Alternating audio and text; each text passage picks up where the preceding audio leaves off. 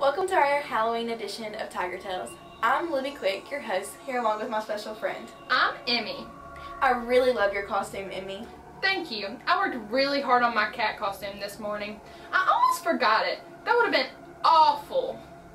That would have been so bad, but I'm super glad you grabbed it. Me too, but hey, I have a bunch of Halloween jokes up my sleeve. Well, hey, Emmy, let's hear it. Which ghost is the best dancer? I don't know. Hit me with it. The!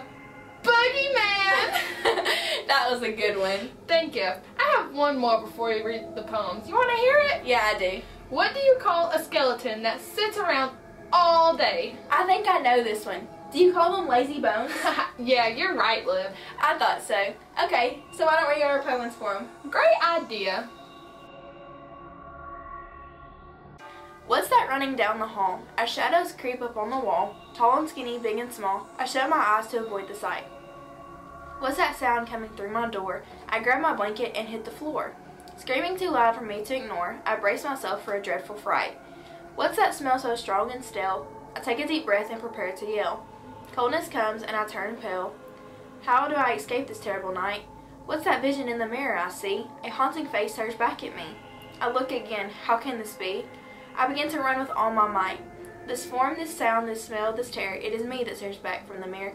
I scream, I shout at what I saw. I was the monster after all.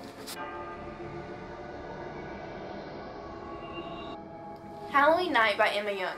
The wind blowing, in the night, the moon's glowing, a faint light. Stars twinkle up high, far above in the sky.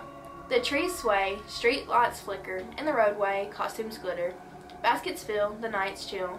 Children go door to door on the patio, candy galore. Tricking, treats, candy so sweet. Scary scarecrows, spooky ghosts, do they know they're fooling most? The fun night, Halloween, full of treats and screams.